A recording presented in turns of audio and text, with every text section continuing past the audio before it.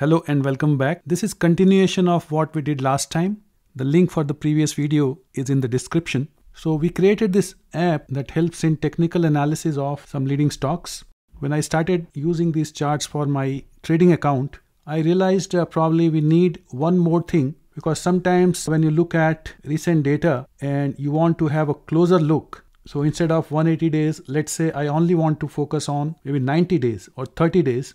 I thought probably it will be useful if I can provide some options here. So that's what we plan to do today.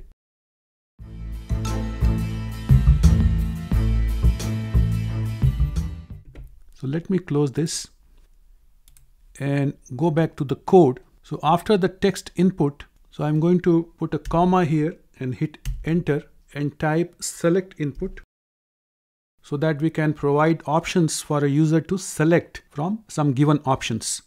We are going to call it days. It could be 180 days, 90 days or 30 days. Above these selections, it should say select days. I'm going to provide only three options.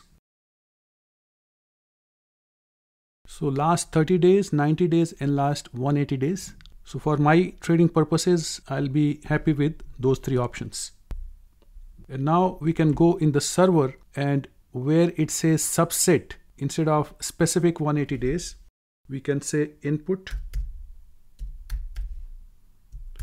dollar and days. So by days I mean this days that we have used.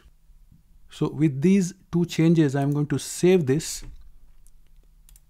and go back to running the app.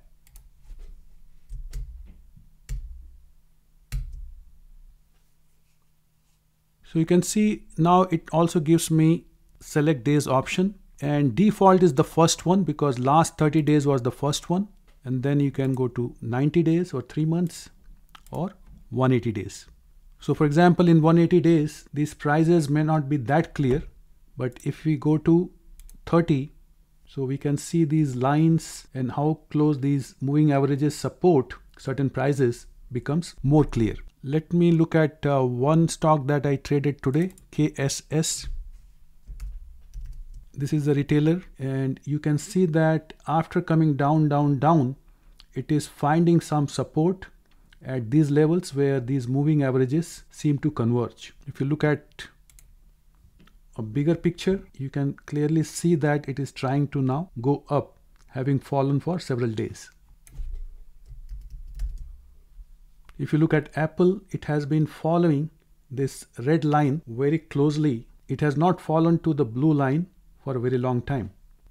So you can see that this trend is hugging this 5-day exponential moving average very closely, whereas this blue one, which is 20-day exponential moving average, so it stays away from there.